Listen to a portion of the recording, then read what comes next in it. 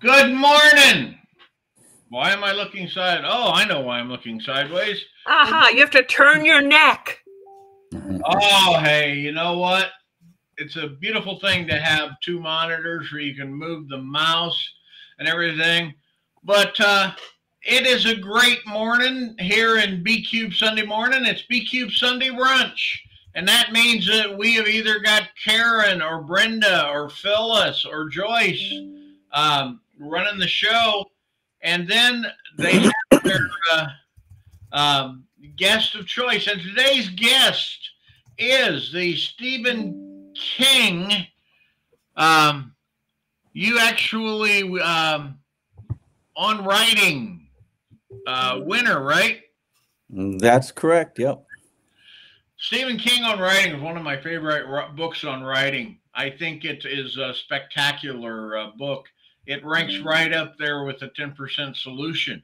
Mm. Uh, and uh, I think both are excellent. So, uh, Jack, we have Jack here and uh, Brenda.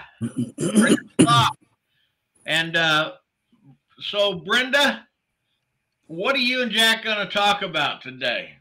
I'm sincerely hoping that Jack will tell us all about his fiction, both the uh, the novels and his new short story collection coming out, uh, and uh, um, uh, so that we can all know about it.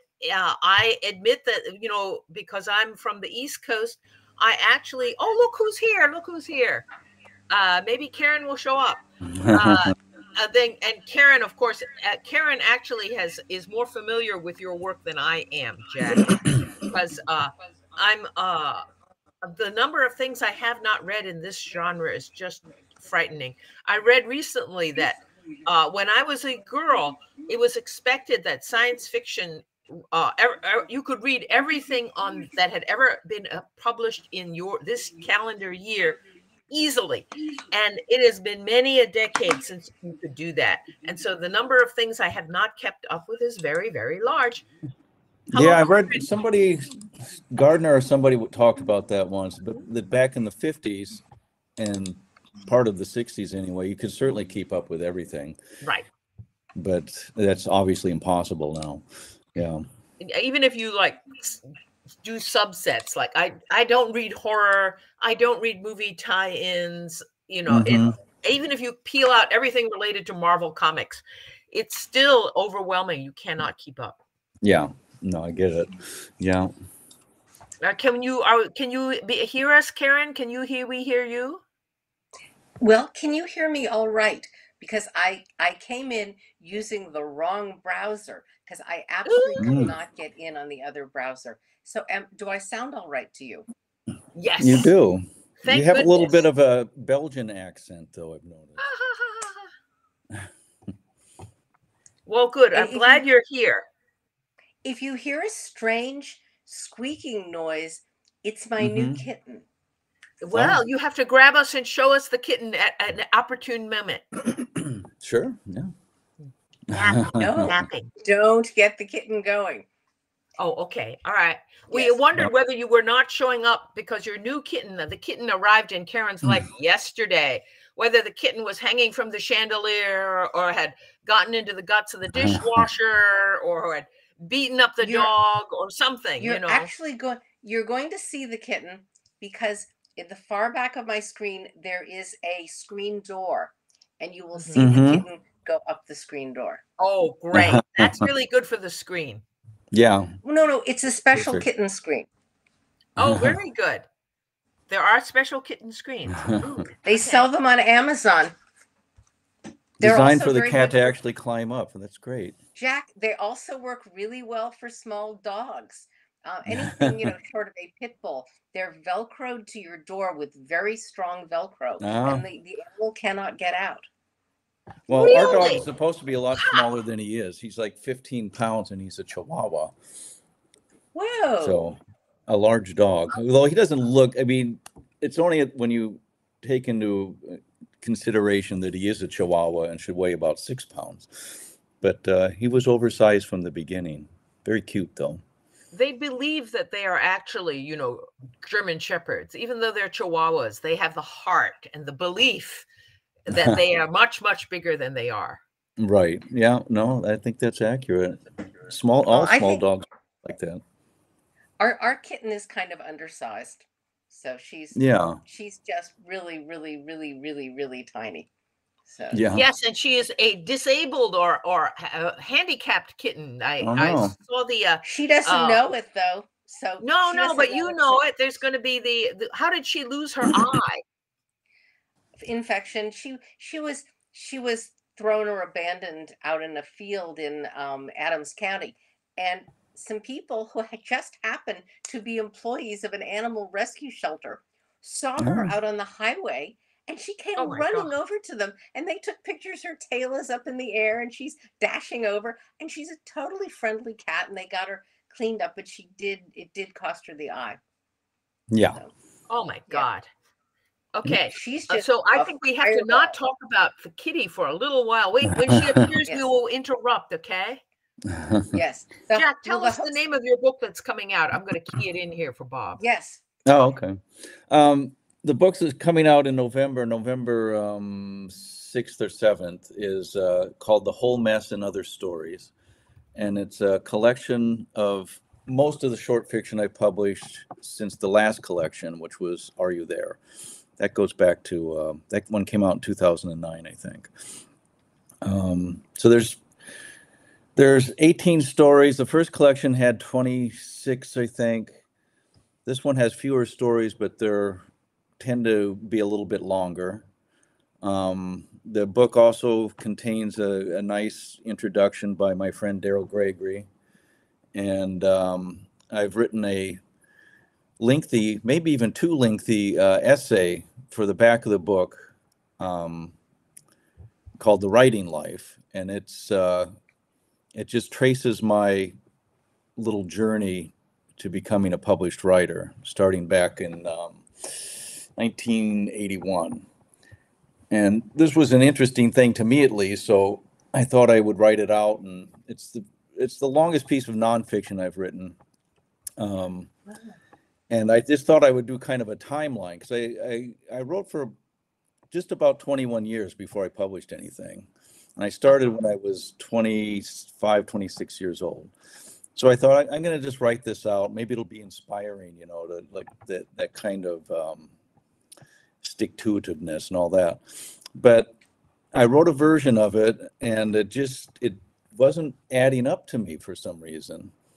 And I just thought it, it seemed more like a like I was writing about somebody else, like my wife Nancy. She talks about my stories sometimes as being tortured lonely guy stories. So it was like I was writing about that guy who isn't actually a real person.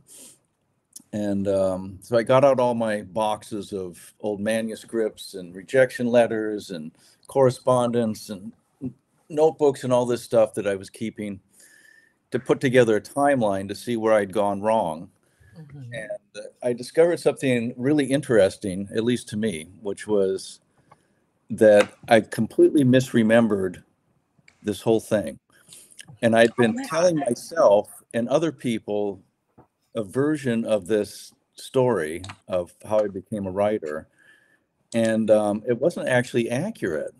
And I this fascinated me. Like, why am I why would I misremember some of this stuff? And why would I put it that way? So this essay takes the form of um, kind of an investigation where I just start at the beginning with what sort of launched me, I go back a little bit like to childhood, and then I, I jump forward. Mhm. And um, what I actually did, what my intent was, and um, how I got to where I got to eventually. And it, I like this because it was a 21 year uh, road trip to my first publication at Asimov's. And then this book is coming out 21 years after I've been publishing professionally. So it, it it's a nice balance. 21 years. Wow. You're really the you're really analog mafia. Yeah. Well, I have the conclusion I came to in my famous essay, as I like to call it, is that um, I the way I presented it, because it did take so long, was that um, because of stuff that happened in my childhood and kind of some trauma and stuff that uh, I was particularly averse to rejection and had difficulty focusing and concentrating. So the way the way I told this story to myself was, well, it took so long because I'd write a I'd write a story and I'd, I'd pick up one or two rejections and then I'd find that too painful and I'd put it aside and then I'd write a novel and I'd go back and forth like this. Um, essentially telling sort of a victim narrative about this whole thing. And my conclusion at the end of this essay was that I'd been kind of embarrassed by how long it took. Once I started publishing and meeting all my, you know, new friends in the publishing world and doing all this, I, I realized my journey was a lot longer than most of theirs. And I didn't understand it. And it kind of embarrassed me. So I had all this stuff, but going back and looking at my um, all these novels and and rejections and all this stuff that I did over the years, uh, I discovered that the person I used to be was very determined, and I made a, a series of very deliberate choices. excuse me, that sort of cornered me to the point that when I was in my early 40s, I was really out of options as far as going back to school and, and starting a real profession or something because I designed my whole life to be a writer. And at some point, I, I figured out that I'm not going to make much money at this, or you could. I mean, I have made some money, but after you know a decade or so, it dawns on you that you're probably not going to. It's probably not going to be that thing that we all fantasize about where the giant checks start rolling in and all this stuff. So why do why do you keep going? What's the what's the motivation for writing at its mm-hmm. core?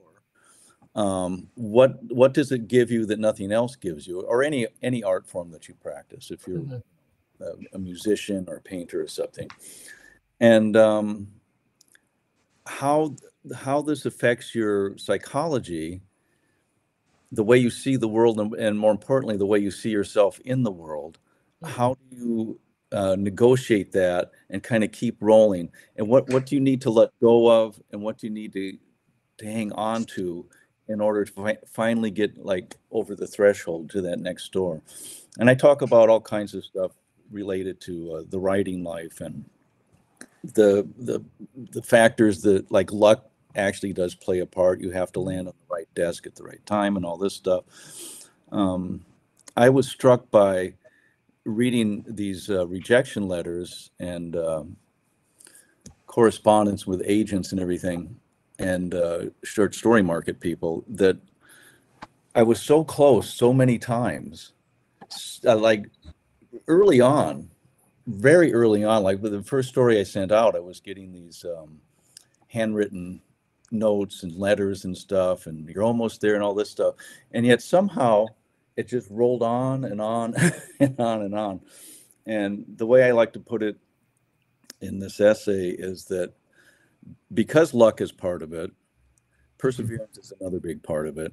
But you have to you have to play the long game mm-hmm. and outlast the bad luck aspect of it, and you have to work really hard and keep pushing and keep trying even when you know you just feel like it's hopeless because i think a lot of a lot of writers a lot of new writers or any writers they get derailed and sidetracked by the by the rejections and my experience with that is it's partly because you're focusing too much on um, factors that you can't control mm-hmm. like i can't control if somebody buys my story or one of those several novels that I wrote back then. All you can do is the work.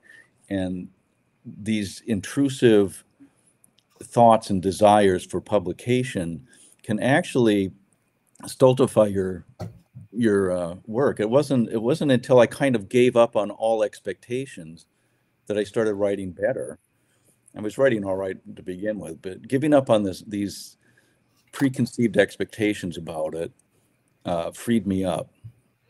There's a mind game to writing. I've I try to tell mm-hmm. young writers that you have to have your head what, what Terry Pratchett would call headology. You have to have your Mhm. head in the right space. Otherwise, you can cripple yourself. And I think that's more well known in the performative arts. You know, like actors and dancers know that if you don't have your head in the right space, it the performance does not come off properly. Right. That self consciousness. Is, Yes. It's it's terrible. Or or just like Yeah. you say, this whole this whole thing back here, you know, you should be like George R. R. Martin. You should be able to make, you know, I don't know how much George makes, but some disgusting sum. At You're least not making thousands that, of neither am. I. You know? but it is Jack, it I- is Oh, go ahead. I want as as you did this new collection. Obviously, Mm-hmm. you're comparing it in some ways to your first collection, and Mhm. I want to ask you a little bit of talk about how the world has changed between those two collections, how your worldview has changed, and how your writing has changed. Really, you write very dark stories, and we're living in an increasingly dystopian time. How has your writing about these these brooding characters that you have, who are often in a you you write what I would call hopeful stories in apocalyptic settings. How has this changed over the past 40 years? Um, let's see. Well, so the stories in Are You There? That's a that's a fair description.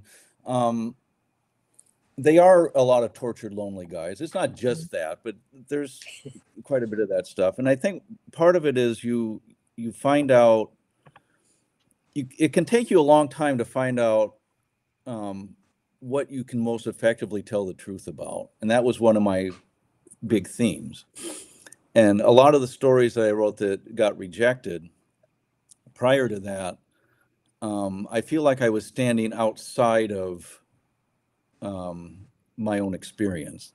I was telling stories in the way that you would tell a story about something, but kind of from a distance.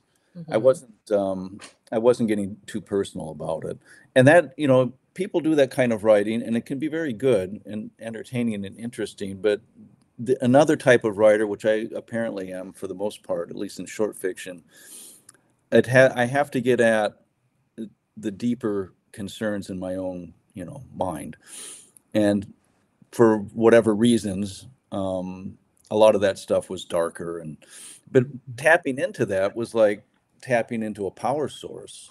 And i worked that theme pretty pretty heavily for quite a while. The difference between the are you there stories and the stories in the whole mess or at least daryl tells me this and i believe him and it's, it's kind of it's kind of true. They're more optimistic in general. Um, people in in the previous set of stories one of a, one of the criticisms was that I'd sometimes slide into a happy or upbeat ending or something at the last second, like it was sort of tacked on. I didn't do that very often in the stories I collected in that book, but I did do it sometimes because I felt like it was a little unrelenting. And in these stories, my people are finding each other, and um, or as Daryl puts it, um, characters discover that they need a co-pilot you know to get through life that kind of thing. Um so there is i do i really do think there's a difference between these two these two collections. Um yeah go ahead I think I think Nancy is unfair saying you write about about lonely guys. I think that you also write about lonely, angry women. You write fabulous women characters, particularly in some of the stuff. I think it was for Clarkesworld um, that that Oh, I yeah. read was, yeah. Um, has your approach to writing about women changed, especially as women's roles in society and the military and stuff have changed a lot? I mean, um you're writing in a time of enormous political change. Yeah, and I try to, I tried like to keep back from that a little bit because when you when you write specifically about your times, um, you're also dating yourself, and sometimes like if you'll go back and read people's work from the 1960s, that that decade, a lot of it, it just it's a little clunky because it's so wrapped up it's so wrapped up in the social changes and everything that's going on. Uh, so I, I try to avoid topical stuff but it'll seep in from the sides in, in sort of an oblique way. Um, most of my stories are pretty tightly personal type stories so i think i can get away with that a little bit more um, i've always been able to write about women i don't know why um, I, I, I don't know that I'm particularly good at it, but I do I have gotten a lot of good response. I've written whole novels from female perspective. I enjoy it. I think I think some writers have more trouble with that, but I think it's it, it's maybe a matter of um, you know how we're all I'm a man, but I a, a lot of my viewpoint and and feelings and thinking go kind of in a female direction. And I think I have a, a different kind of empathy than, say, somebody like um, whoever, Harlan Ellison or somebody. So I don't have I, I don't have I don't have a lot of trouble seeing things from a female perspective, and I enjoy writing from that perspective. At Chaos Function, the, my last novel, the whole thing was written from um, a female journalist. I'd been reading about the war in Syria and two of the best books about that were written by um, female war war journalists. One correspondent, correspondents, right? And um, I just found their story so compelling, and the balance they were doing. Uh, one one of these uh, correspondents was um, married and had children back in Italy, and here she was in these horrific war zones, and I I was really interested in the um, psychology of that and how she balanced it out. Um, in this collection, there's I don't know. There's a number of stories from female perspectives. It's sort of a balance. Is now, in, do you have any stories in the collection that have not appeared anywhere else? I have one. Um, everything else, everything has been published in ma- major venues from Asimov's to uh, Clarkesworld and Lightspeed and you know hmm. the usual places, except one story called. And now I'm going to make myself into a liar because I just said I don't get involved. Yes. I try to stay away from. I was leading you but, into that deliberately. But there, there, there is a story called "The President's Drone." Ah ha ha. And it got it was rejected around a couple of times and then i just kind of put it aside and then i rewrote it you know, for this collection. And um, it gets a little bit political. Mm-hmm. And I, mm-hmm. I, I'd originally written it um, in the midst of um, the first wave of political chaos back in, you know, 2015, 16, all that. And I was struck by how the country was so divided you know, into red and blue states and all this stuff. It had always been red and blue, but it just seemed like in the last decade, it's almost like it's almost like open warfare. Mm-hmm. And and when I wrote this story, that was kind of a far fetched idea, which I think is slightly less far fetched. So this was a, kind of a post apocalyptic thing where basically the red and blue states have gone to war against each other. And um, the president's drone is a automated device that sort of wanders around, you know, the remnants of the United States, and it's it's broken. It was it was meant to do stump speeches at uh, you know small towns across America, and it would project a holograph of the president and all this stuff. But now it's just wandering through poisoned, you know, empty town squares and giving stump speeches, and that was my starting point for that. And I think the story is hilarious. When I, when I reread it, I was laughing out loud, and and I tweaked it up a little bit, and you know, cleaned up the sentences and stuff. So I think I'm just going to put it in for something new. So there, there's Jeff, the, there's this totally resonates with the B, B cubed writers, a lot of whom have written mm-hmm. in that vein at least one story. Yeah, yeah. I wanted it to be sort of bitter funny, and I think it I think it is. There's three new things in this in this book, but only one new piece of fiction, which is the president's drone, and then there's um, my essay and mm. Daryl's introduction. This is Darrell Schweitzer, am I right? No, Daryl Gregory. Yeah. Okay. Yeah. Uh, th- there's a couple of Daryls rolling around here. Just want to be sure that we have the right one. Yeah. Now Daryl's a very good writer. Um, Uh huh. He published Spoonbenders a few years ago. He's won the World Fantasy Award and Shirley Mhm. Jackson and everything. He's really good. Good. And he's a friend. He's been a good friend since we met um, in Tempe, Mhm. Arizona, back in 20, 2006 when the Nebula Awards were there. Mhm. That was a big watershed. So- year. Speaking of the drone, yeah. what I was reading of your stuff, there were a lot of there was AI going on. There were lots of, of AI robots. There was the assassins, where you've got the whole world or most of the world playing this game using these special glasses and projecting, losing themselves. And that you wrote that back in like you probably wrote it in like 2016, 2017, and we really have ended up in these immersive games.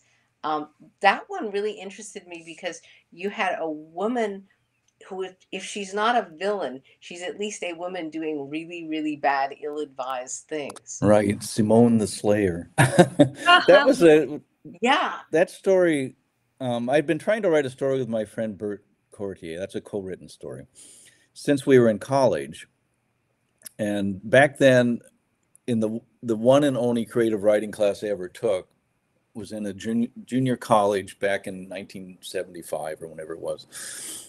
And Burt and i were in that class and he was just a much better writer than i was. I really i thought really good.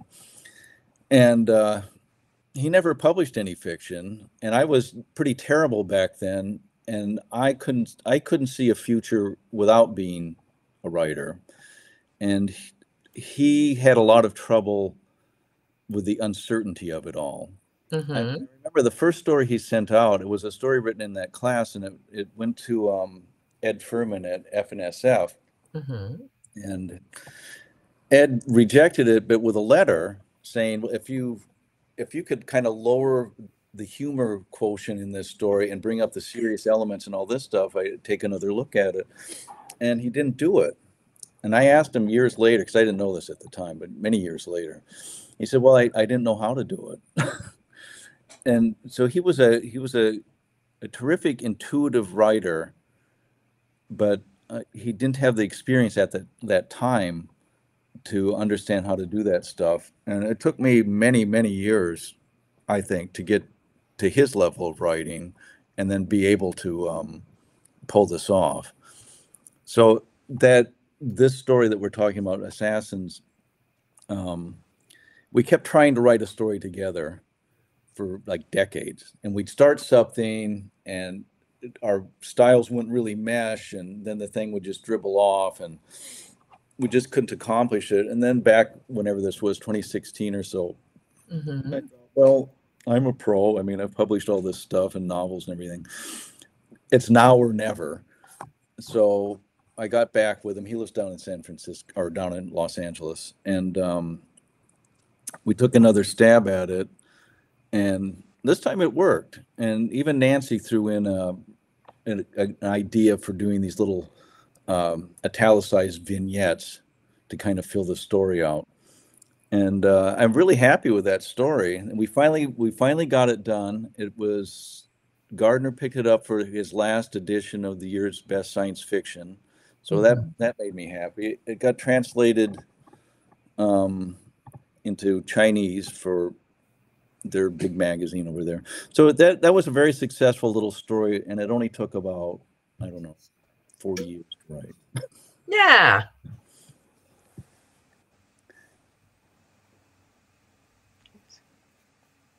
Um, yeah. What else you got? She has a talk list of to- questions. Talk to me. I don't really have a list of questions. I sort of Oh, have okay. a list of stories that brought up ideas. Oh, sure. Yeah, go Um, ahead. so I've been reading Steven Levy's amazing article in Wired about what AI is, what it isn't, why it does what it does, and how Mhm. it grows and modifies. And Mhm. you got into a lot of the AI stuff in salvage opportunity. Oh yeah. Well, Yeah. Um, it, salvage, salvage opportunity has a man who's stranded with a an AI companion, and they be the, the relationship becomes very fraught because the man begins to resent the robot's capabilities. this is actually a theme that I work in Are You There too, the actual story Are You There? In that story, uh, a uh, police detective recovers this module from a serial killer that he's been walking around with, and it was basically contained the personality of the killer's mother. It wasn't her, but it was this idea. It was this idea that, for all intents and purposes, it seemed like her. She would commu- talk to this guy, and they would have communication, and she knew what she was, which was, you know, a device. She, Mhm. it wasn't actually herself but it didn't matter because to to her she was was real and this guy who had a lot of he was a tortured lonely guy of course he had a lot of trouble connecting with people so he connects with this person um, this personality and falls in love with her knowing that he's essentially talking to himself and i thought this is interesting at, I wrote it at that story at the time when um, um, communicating in chat rooms and all this stuff was was big, Mhm. be, beginning to get really get rolling. So in the story you're referencing, salvage opportunity, which I think is also a very funny story.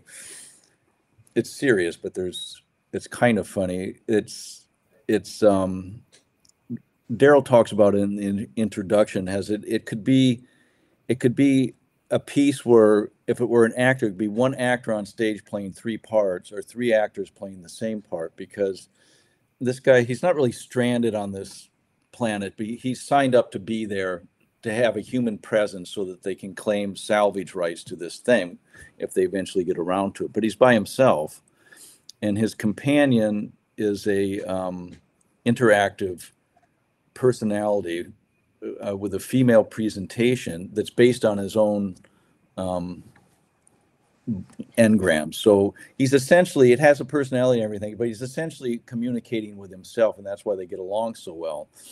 And, and at some point in the story, the um, the companion feels that he he's too alone in this place, and it it takes a, a piece of its um, artificial intelligence and kind of impregnates a uh, android that's in this gigantic spaceship that they're there to salvage. And the, the, the conceit with this ship that had crashed was that it was a, a colony ship. The uh, the actual colonizers existed as you know, frozen embryos that would, would once the planet once the ship reaches the planet they would be raised by these androids until they could take care of themselves. So the, the em- embryos are all destroyed in the crash, but the androids are could be functional. So the companion enters one of these androids and walks over to the habitat. So now we have three characters who are essentially the same person with slightly different um, personality presentations. And it's really a, a solipsistic um, story. And it is, it's, it's, I think it's, I think it's funny and I think it's, um, it's uh, got heart and it's a little bit brutal. It's about loneliness and, and um, being able to connect or fail to connect and, and understanding, you know, what the problem is. So It's I like that story quite a bit. It struck me as being a lot about the way that we sabotage ourselves. Right. Yeah. Yeah. Yeah. Right up till the end of that story. But that one, he's a tortured, lonely guy, but he eventually asks if he can come in, kind of, you know, can I come home basically. So that was, that was that thematic twist that I'm doing in a lot of these stories where my people um, realize that they're too self-involved and have to come come forward and seek other people. Another story like that in the same collection was um, the sum of her expectations. And this time, my tortured lonely guy is a tortured lonely woman, and she finds herself marooned on a planet, and um, interacting with these nano builders who were left by the race that abandoned this world. Mhm. And uh, the nano builders are continually constructing things for her. And um, she finds herself basically being infantilized by living in her childhood room and all this stuff. And she has all these stuff from the past, but um, that also works that theme pretty good. And it's a longer story. And uh, I mean, I'm making these stories sound like they're there's some sort of a slog, but I I, I think they're pretty entertaining and they're they're fast moving. And um, I'm a sentence guy, so I I really keep things rolling with this stuff, and I try to come up with new ways of expressing uh, common observations. I mean, it, it strikes me that most of your stories could not have been written 50 years ago. They're very, very much, I see people in them reacting against both social and technological problems that we currently, all of us live with. Your people are just in a slightly more dramatic It's- version. It of it. sounds so COVID, you know, we're all isolated uh-huh. because of viruses and interacting only online or, you know, with with messenger or texting or whatever. And that's all you get. Uh, Yeah, no, I has written a book about um, how isolated we are. You know, people can die and they find the bodies three years later Mhm. because essentially, it you know, you, people didn't even realize that you weren't showing up on your chat rooms or whatever because bots were carrying that on, and Yeah. you can just your your actual meat, the actual physical you can vanish, and all this stuff can carry on sort of without you.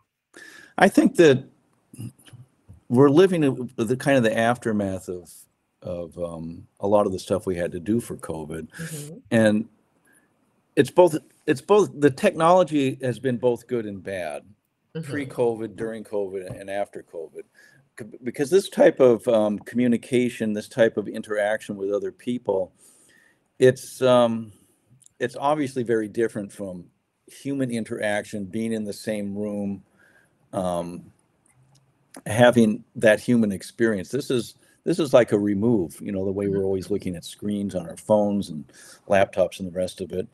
I mean, this isn't a great insight or anything, but I do think it it it it can fool it can fool us into thinking that we're not isolated when we actually are. And if you're especially like a kid, like a teenager, I, I thank God I didn't have this technology when I was in school or even when I was traveling when I, I really would have wanted it. Like I went off to Maine when I was um, 25 years old to become a writer. And I, that was pretty isolating back then. I mean, there were no cell phones or anything, certainly no computers. So I wrote a lot of paper letters. And then once in a while, I would go over to this uh, kind of a diner pizza shop, and they had a payphone, and I call collect like a friend or a relative back home in Seattle, and just to talk to somebody that I knew, because I was a person who tended to isolate anyway, and now being in you know about as far away from Seattle as I could get, where I didn't know anybody, and I didn't have a job initially and all that stuff. It was pretty isolating, but also when it's like that, then you you really are where you are. I've noticed um, that a lot of the traveling Nancy and I have done since we've gotten married. We've gone to Europe a few times and China and all over the place. Wherever you are, you're also here because you always have your phone. You always have you know your laptop. You can always you're just a click away or swipe away from this familiar world Mhm. you know electronic world and my feeling is it's both convenient and it also undercuts um, the experience of travel because you're never completely away from your home environment and i i think we're never going to go back to this but i i think of my brother when he he went to europe um, when he was studying art at the university of washington and he he's he went with a class and then stayed over for like six months with a Eurail pass and traveled around. And back then, he would schedule a call by paper letter, and then we get the trunk line and everything. Everybody gather around around the phone. So he was like going to Europe. You know, that was would have been the 1960s. Um, you were far away, and it Mhm. it felt like it on both ends of that equation. And but I've been in you know, I've been in um, small towns in France. I've been in Rome, just talking and texting to people back home without any difficulty at all. And uh, maybe it's just a personal thing, but it, to, I liked it. But at the same time, it took my attention off the otherness of where I was, and maybe I didn't get the full experience. I mean, we're all welcome to get the full experience by turning off our phones, but uh, who does that? No one ever does, you know. No. It is. I think uh, one of the real the, the one of the real joys of reading Jack's stories Mhm. is that they take place in very quiet places. Um, assassins have a lot of people around, but a lot of them have people alone in offices, of people alone in spacecrafts, people wandering planets alone. And it's kind of a refreshing, vicarious experience of being somewhere where the character can actually hear themselves think. Well, a lot of my stories are um, could almost be done as a two character play, two character one act play. Sometimes I'll even imagine it that way. Or I, who was it? I think Tim Powers was talking about writing process a long time ago, and he said something about writing his people as though they're on a bare stage Mhm. to get the story, just to get the dialogue and what, what's going on with the characters, and then go back and fill it in at layer upon layer upon layer until you'd have these these magnificent, um, complex novels. I always thought that was pretty interesting. Um, Wow, yeah. I am more comfortable It generally, especially in short fiction. I'm more comfortable with, uh, you know, one, two, three character plays because it's a short story is you know basically about one or two things Mhm. in a short space of time and uh, it's hard to expand that and if you if you push too hard to expand that um, it's not working as a short story then you you have to move into novella or or novel territory I find that some ideas sort of want to be short, and you can't. It's it's as if you're building too big a house on too small a foundation. Mhm. Some buildings are just meant to be, you know, cottages or sheds out back, you know, workshops out back. They're not meant to be mansions. So it's Well, a I- different architecture. I know with a lot of people used to, I don't know if this is still the case, they would think of short stories as their uh, stepping stone to get to writing Mhm. novels. Mhm. And I, you know, I kind of thought that way in the beginning too, but after long uh, years of doing this, I, I, I fully understand the the difficulty of writing well at short length, and it's Mhm. in some ways it's a lot harder. In a Mhm. novel, you have so much elbow room to move around, and I think writers have a they have um, a form they're most comfortable in. Mhm. And some write ideally you can move back and forth. Like somebody like Stephen King writes a bunch of novels and he writes short stories and stuff. But some people are primary primarily short story writers. There's a lot of uh, people who are, you know, it, I think Harlan Ellison made, wrote one novel and it it wasn't his best work. He was better with short stories. Right. He did that rock, rock kind of a rock novel. Yeah, and there is a uh, uh, the when I tell young writers that it's like horses, you know, some horses are bred to run a certain race.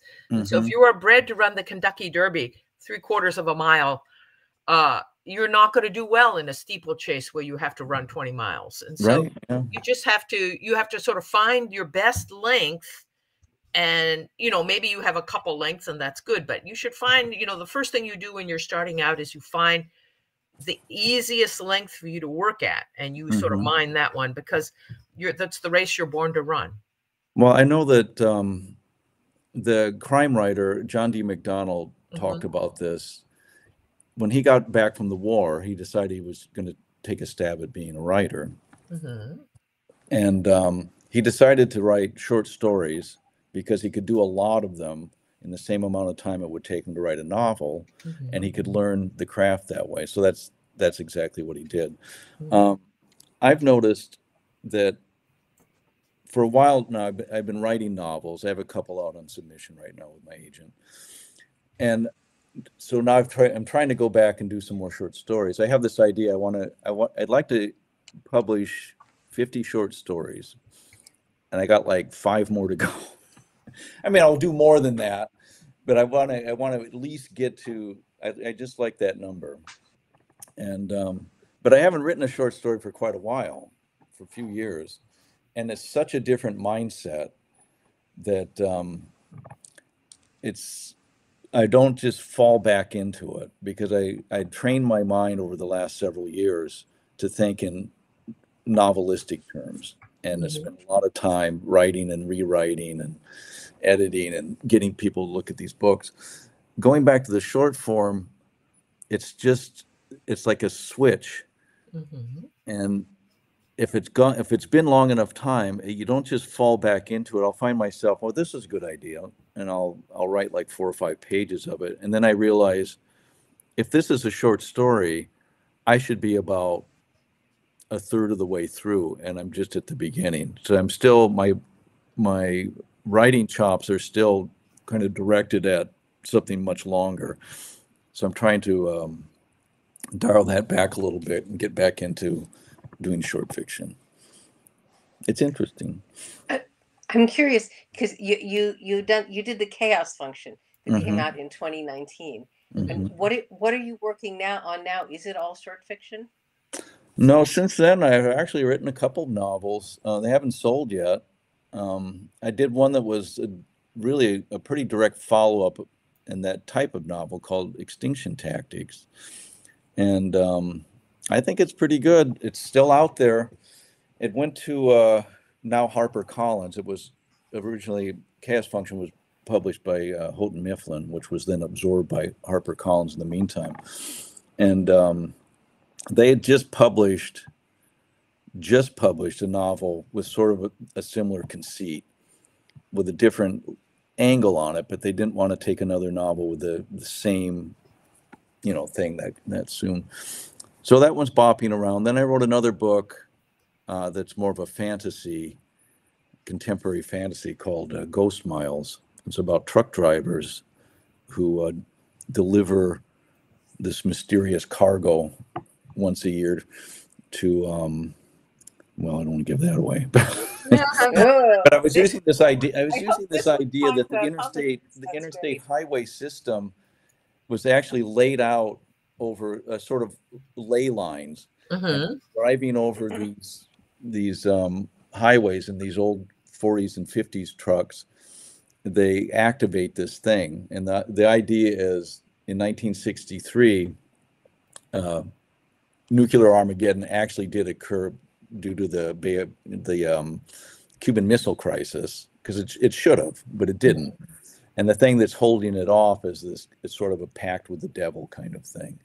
But he wants his due, so once a year he gets his cargo delivered, and it's it's kind of unsavory. And, and then I have a I have two Oh. characters. I have an I have an older guy that's kind of like me, who was was recruited as a driver back in the day, figured out what they were doing, and opted out of it, and then spent pretty much the rest of his life um, you drinking and keeping away from everything and isolating. And then the other character is a young woman around 20, 25 years old who's the new generation of drivers who found herself in the same situation he was in, and but wouldn't tolerate it, even though breaking this pact seems to invite that Armageddon to resurge and just overtake us. The the thing that they're doing is so egregious that you can't do it.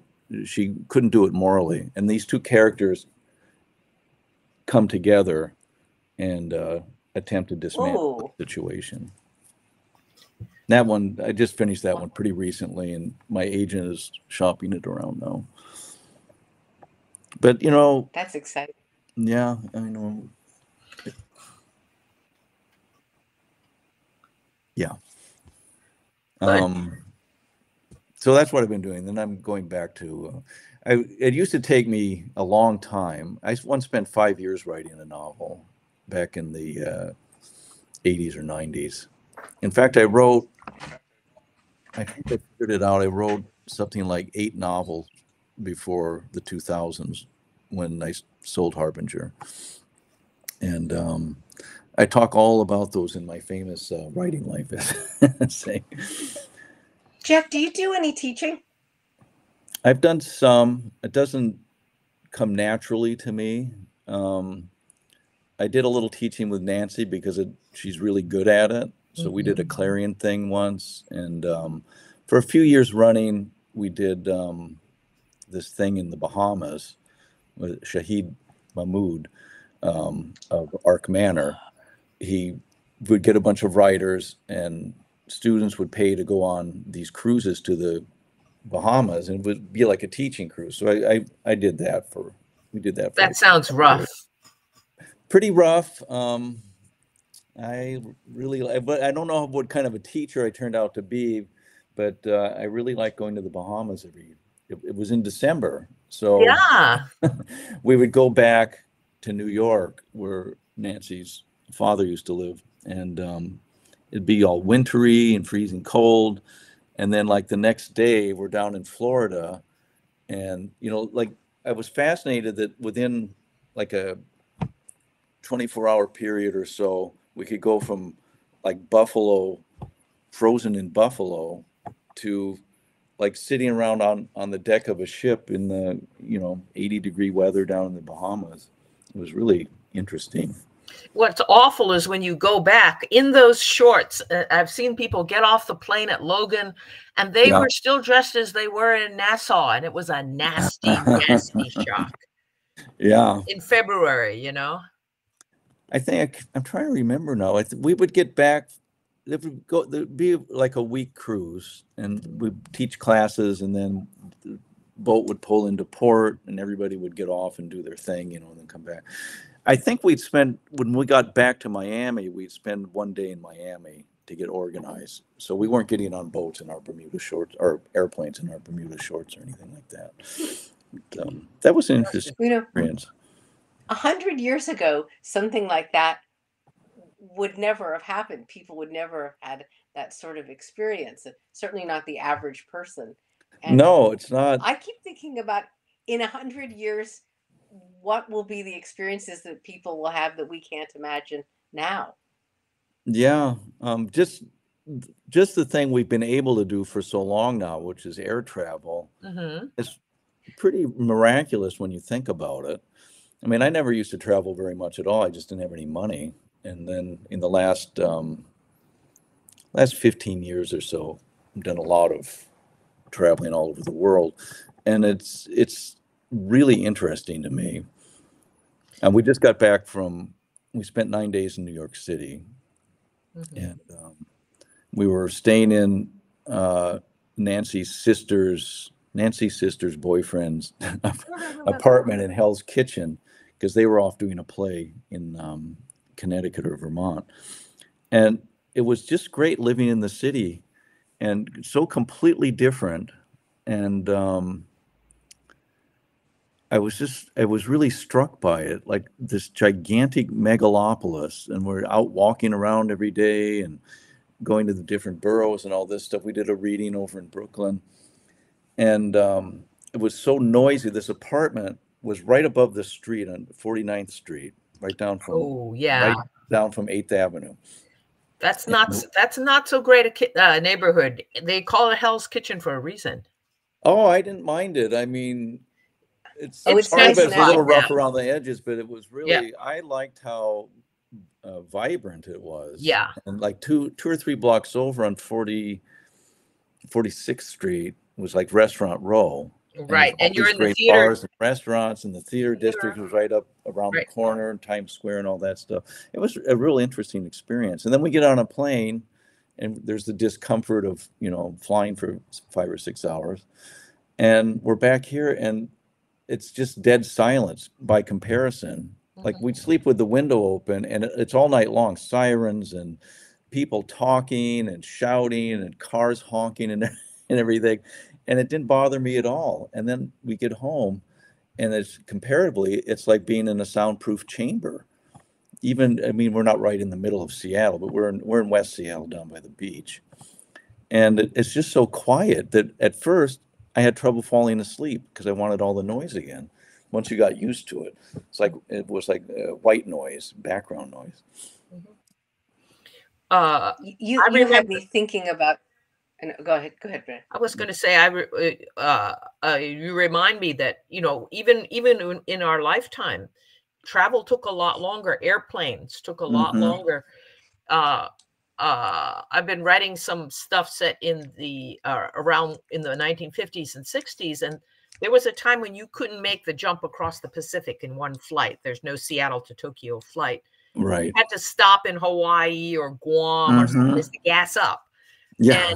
and it really really and those planes are so slow you know babada babada babada slowly cutting through the air they didn't have the speed that boeing has contrived for our airplanes and Mhm. it's the it is astonishing that how the world in some sense has shrunk Uh, Yeah. that and the, the all this online stuff you know in theory there's nowhere you can't see now you hop onto google earth and let's go you know uh, uh, I know, and it, it's it's seductive and and uh, useful for writers, especially. oh absolutely But I I do think it it could be doing some damage to us as a society and uh, mentally because it's it's the addictive nature, especially of our smartphones, hmm and that's a design feature.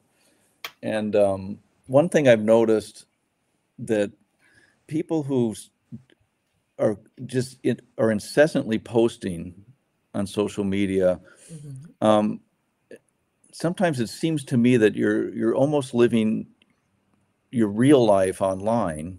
And I don't know what's going on in the background, but I've I've seen my own addictive tendencies with the phone and social media and stuff. So I, I made a, a very deliberate effort to uh, cut that off. I didn't think I was I didn't think I was benefiting to the extent that I was to the balancing extent that I was uh, suffering from it. It has a time sink, has a, this idea that you're constantly um, you're constantly stimulated by um, Or you're constantly on negative show, stuff. you know? you know, or you're constantly on show. This Yeah. it's I'm it seems sort of- I mean, I sound like an old guy, but it, know? it does seem sort of unnatural to Mhm. kind of be preening or setting up pictures of yourself constantly, or you, you can't go some, you're not really someplace unless you've got the right picture to, to prove it or something. Mhm. Um, I I'm, was, I'm always shocked when when I, I've gone somewhere with people to what I thought was kind of a private experience, and Yeah. suddenly they're posting pictures of this all over the internet, and I'm like, really? It's, well, and it's, everybody. scary. I, you know, going to movies, um, out to the theater, Mhm. All the cell phones and everything. But but when we were in New York, we went to a couple plays on Broadway, and it was the same freaking thing, except the people were generally, as a general proposition, were a little older at a at a Broadway play, maybe because they just cost so much money. But up before the play started, everybody has their phones out. Yeah. I, could, I would look around.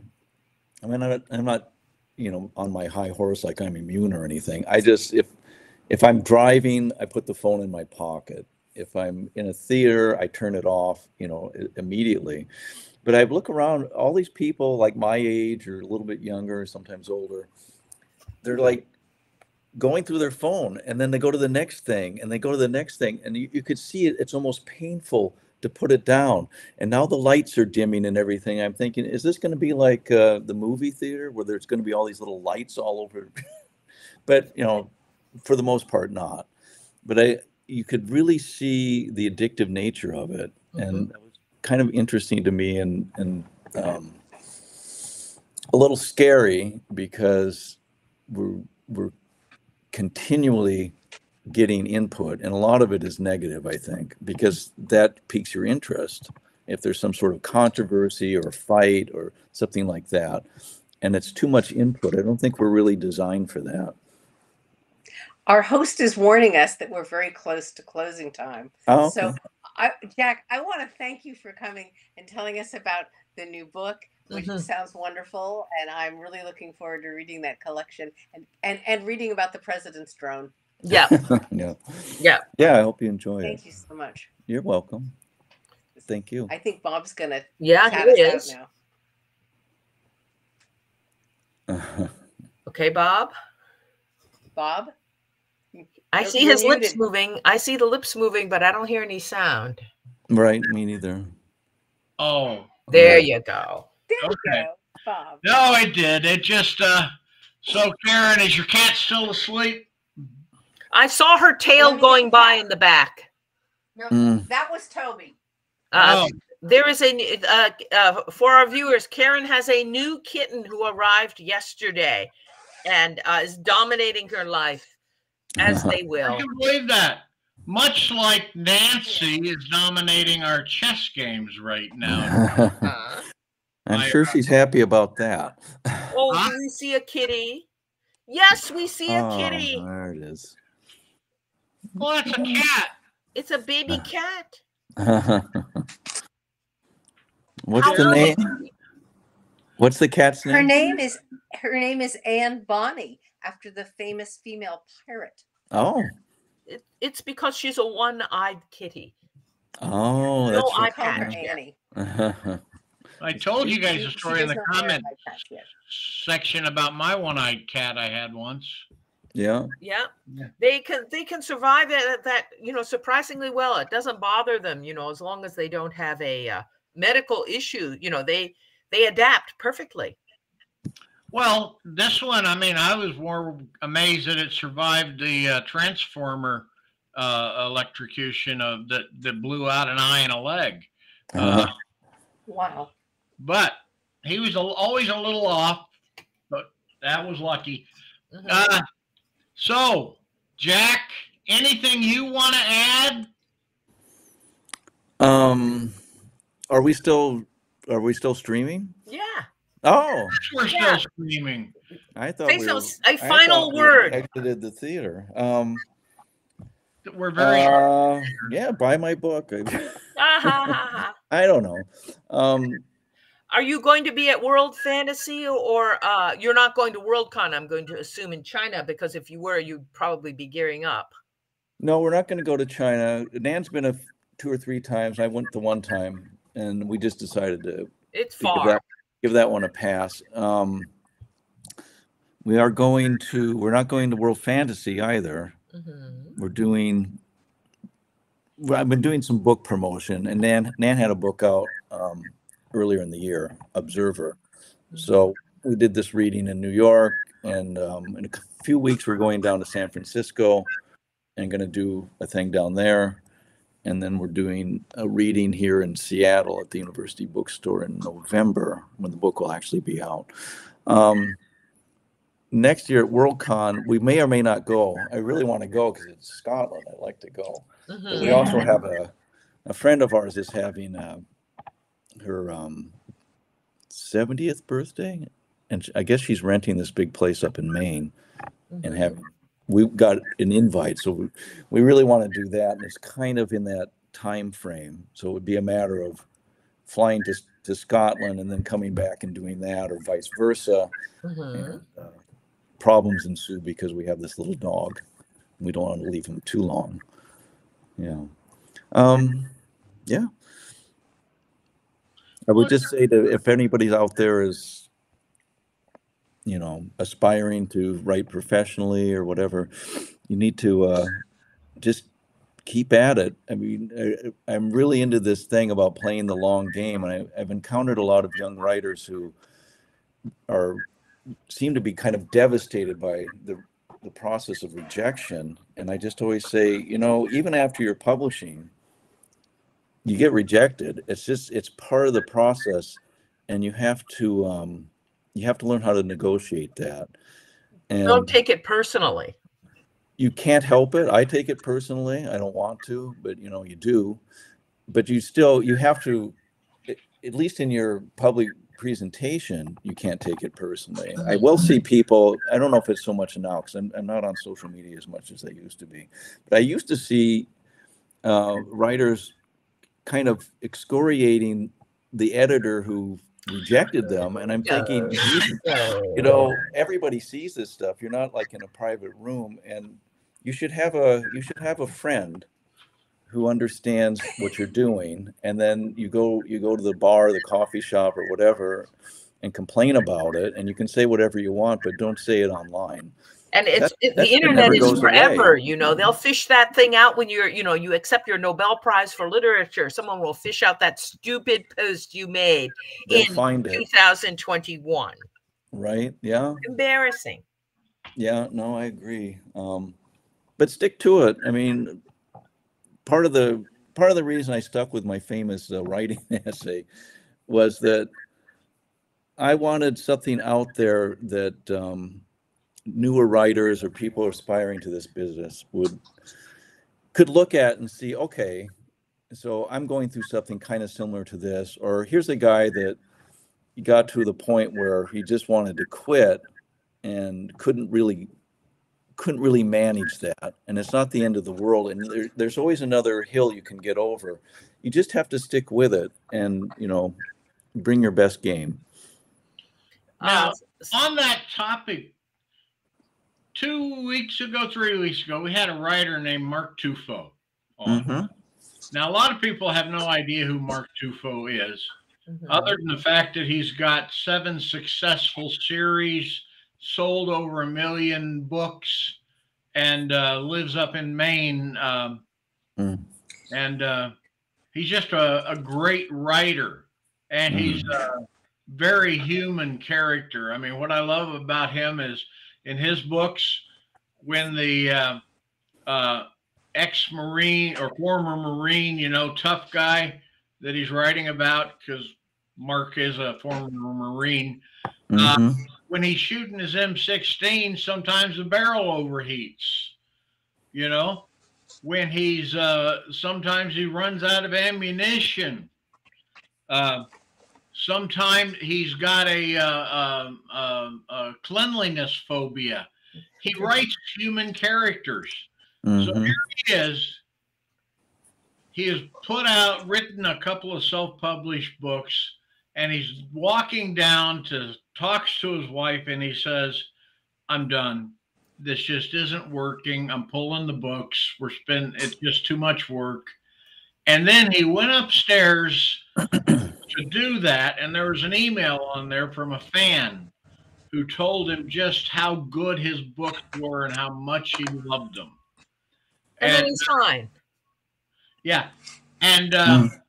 he went back downstairs and said, Well, let's keep it up for a bit. and like I said, today you can look up Mark Tufo, T U F O. Mm-hmm. Uh, he sold like I said, well over a million books, highly successful, uh, lots of different series, and he's just a good writer. And, and he's glad he didn't quit. And I'm glad he didn't quit because I've read about half of everything he's written. Mm. Which, uh, um, hey, like like uh, I think it was Brenda mentioned that you just can't keep up with everything. And some guys write faster than I can read. Yep. Um, so, uh, but anyway, but you're right there, Jack. Keep at it. That day will come when, uh, you know, not everybody sells the first submission they send out. Uh, it, it, uh, okay, well, let's just a second here. There's something I have to do right now. Mm-hmm. Yes. Neener, neener, neener. I have the buttons. Yeah. Brenda, that was, you are that uh, success story that the first time you dip your finger into the pool, you know, it turns, it, it's, you found success. But, you know, I've accumulated many, many rejection letters since then. So you can't, you know, it is actually part of the professional thing Isaac Asimov got rejection letters at the end of his life, you know, and you know, you know, he's one of the titans of, of the of the field. uh, they someone ran a statistic past me the other day. It said of a hundred people who want to be a writer, about three percent of them actually finish a manuscript, and of course, you can't Mhm. sell anything until it's finished.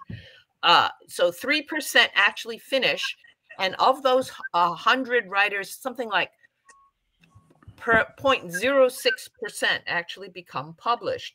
So there's a winnowing that has to happen but if you have what it takes you uh, you can survive the winnowing process and it's okay if you can't because remember 3% out of the 100 if you Well- if you just can't do it you just can't do it okay No, what I used to tell people when they would ask is that they would say, "Well, it's it's overwhelming." Um, Yeah. Asimov's back in the day, or Lightspeed, or whoever, they're getting 500, 800 manuscripts a month. How can I compete with that? And I would I would tell them, "You're not competing with that." Especially this is back before like electronic submissions. If you could just format your manuscript professionally you know. professionally and edit it and look for you know typos and all this stuff that actually would bump you up into the top 10% or so. And then it Absolutely. and then it, it, it's it's this process. You're really competing with it, it it's not that hard to get to into the top 5% of a magazine submission and then you just have to keep pushing at it. Um, you're not competing with 800 manuscripts. You're competing with the professionals who are sending stuff in and are probably going to get some sort of preferential look. And then you're competing with a relatively small number of people that are writing at a high level and haven't published yet. But you're not really competing with you know five or five or six hundred or eight hundred people. Most of those people will never submit another manuscript. Yep they're in the 97% right. And it is it's uh, a, it's a very tiny percentage of people who ever really published professionally Mhm. More than a, more than a few times. I know plenty of people who did did a couple of short stories and then I whatever that I guess that satisfied the itch. Mhm. But most professional writers who who have been at it for long enough, it's the itch never goes away. Like mm-hmm. you you might start off by saying, if I could only sell a story to F&SF or something, that would be you know that would satisfy me. But it, it almost immediately doesn't. And it's the same with novels. Or if only I could sell a novel to you know anybody small press or something and then if i need to have a I need to sell a novel to a, a big new york publisher then you do that and then it's still not good enough you you, you just want to keep it rolling so in order to get to that point you're unlikely to be the type of person who will be satisfied like with what you think you might be satisfied with initially Mhm. but it's a, it's there's a lot of people a lot of published writers a lot of professionals most of them aren't making a living writing but that's um, a separate hill to climb that's a separate hill to climb and you yeah can't and get, frankly i don't think we should count on it. that it's uh the Yeah. number of jk rowlings in the world is just not that large Well, yeah most most most books I, do, I read this recently will sell fewer than a thousand copies Mhm. maybe not even 500 copies so if you can sell 10,000 copies your book is kind of successful Mhm. Heck, in that world, I think if you can sell a thousand copies, you're being reasonably successful, especially in a lot of small press worlds. Mhm. But uh, but what you were talking about competition, we did a alternative apocalypse uh, volume here a while back, and we had 950 some odd submissions. And uh, I think you're absolutely correct because the people who a don't read the call, b don't spell check their manuscript, and c make their first sentence. Uh, John Hughes whose sister was Cicely Hughes, walked down the narrow hallway, and you know, I mean, you just realize that no, this this is uh, this is a never gonna be. You know, you get through that first paragraph, and so once you get past that. You're in a much smaller club of people you're competing against. Like uh, Karen right now is uh, editing for me uh, uh, Alternative Truth Southern Edition, and uh, bless their hearts. And she's having a fine time doing it, aren't you, Karen? Nod your head. I'm finding some amazing stories. Isn't that the Yeah. fun part? hmm I have actually started a new uh, call, but it's not open. It's just there, where I am putting all of the stories that are so freaking good that just don't meet the call. hmm That uh, I've got three open calls right now, and I damn near got enough stories collected in there to do its own uh, uh, anthology that are just, you know, the best, the best that didn't fit. You know. hmm It's a Yeah. great, it's fun doing this. And for those of you who didn't know, I, it's kitty time. Okay. Well, Mhm. so next week we're having Tom. hmm Do you, do you, Karen? Do you know? Remember who Tom is bringing on? I think he's bringing on Blaze Ward. Mm. Who? I think I think it's Blaze Ward and Michael Johnston, two of the hot space opera writers. Well, okay. Oh, and Blaze. You know, Blaze. I don't know if he got the name Blaze because he's like a. Uh, We're live. Comment. but he writes, he produces novel work at a pace that would make um, any any other writer I know look like a just a yawn, like me, Yes. you know, or like Jack, Jackie said, five years to do a novel. hmm You know, Blaze would be saying, "Well, what? You've had five weeks. Come on, where is it?" um, and uh, he's just that good, and uh, that is excellent. It's so good to have uh, somebody like Tom there, uh, bringing in some great talent, and uh, I appreciate uh, you guys here, uh, Brenda and um, Karen. Yeah, that's you, Karen Yeah, the kitten lady. for uh, bringing us uh, Jack because uh, Jack is. Uh, it's always been a pleasure running into Jack at Rainforest and the like, and uh, the conventions. Are you going to be at Orycon? Uh, no, I gonna be there. Oh, well. I'll leave my chessboard at home. Okay. give my regards to Nan, and uh, you guys take care and uh, uh, say goodbye to the kitten people. Yeah. Will You'll do. Thanks so much for time. having me. Oh, it's always good, and look forward to it again. It was a wonderful discussion, guys. You did great. It's great Uh, to see you.